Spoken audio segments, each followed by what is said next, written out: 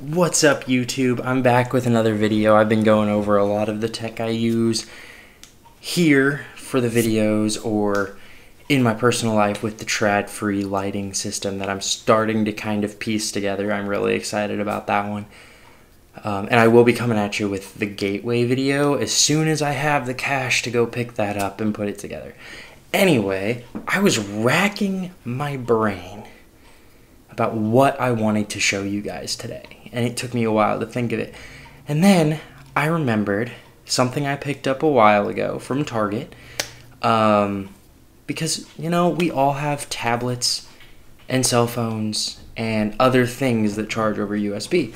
So, today we're going to look at the Atomi Boost. Now, this is just a little standard USB charger with five, five ports, not four, five ports. Four right here, one being right here. And this piece, I'm sure you can probably already tell, is a portable battery.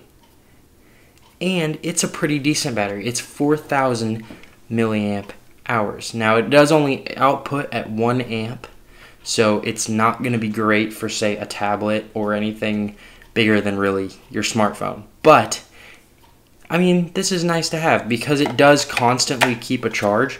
And then if you need to go somewhere, or let's say you're charging your phone through this, and then you realize, oh, I have a meeting to go to, or oh, I'm supposed to meet up with some friends. Just slip this off, keep the USB port connect, keep the USB cable connected. You don't even have to disconnect anything. You can just throw this in your bag, pocket, purse for you ladies, and you're still charging your phone, so you don't have to worry about it.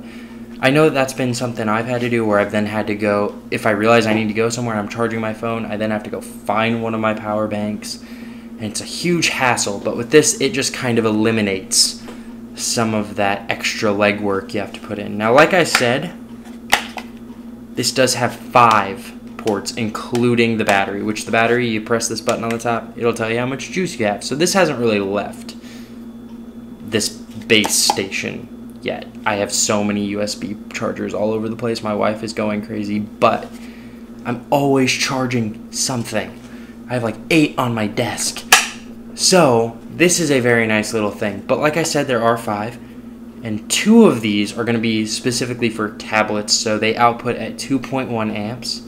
So, for you people who don't know what that means, it's just more power that can go through that port at a time. It doesn't mean it holds more power, it doesn't mean it won't work for other things. And it doesn't mean that these 1.4 amp and 1 amp charging ports won't handle a tablet. It's just going to take a lot longer. That's what that whole smart charge thing is. It can recognize how much energy your device can actually pull. So these are just designed to not have that in mind, but they're designed for specific things, if you will. Like, you can totally charge a tablet off of a 1 amp charger. It's just going to take a whole lot longer than off of a 2.1 amp charger. Anyway, like I said, yep, it's got the 5. It comes with this nice little Atomi cable management tie, which is nice because I've got it sitting on a table over here and all it really does is charges a phone that I never use, so that I just have hooked up all the time, and our little light back here, which is the Star Trek Enterprise display. So it's got diagnostic stuff, and it's really cool.